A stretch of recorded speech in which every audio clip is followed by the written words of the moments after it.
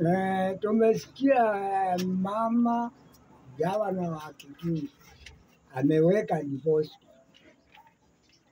Na sisi tu- hatutaki kutanganywa tena, sababu alitutanganya kutuletea ajendi wa kununua asali, akoleta akatutanganya kutuletea ajendi wa kununua ndengu zetu, hatukumuona.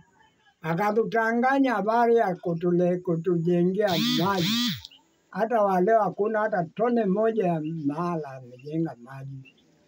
Sasa hiyo ni uongo mtupu, anatoa ahadi za uongo, na sisi tunataka mtu mwaminifu anayetoa ahadi na anatimiza, sio kutuandaa kama watoto. Sisi ni watu wazima na taabu zetu tunataka mtu anayeziangalia. Na sasa mtachangua nani? Sasa kwa wakati huu tutamrudisha Julius Malombe awe ngavana wetu tena. Na Muislamu mtaki? Sisi huyo anaitwa Mzila amekaa kazi ya PC anafanya huko na hakuna kitu alifanya huko Waita. Mm. Sasa yeye anaona sisi na hatuoni.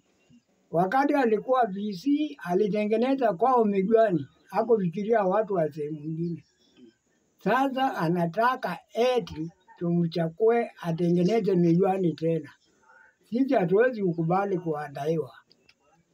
Sisi tunataka kumchakua Malombe aendeshe kazi yetu, na mtu anayejua masilahi yetu, mtu anaweza kuangalia vijana wetu.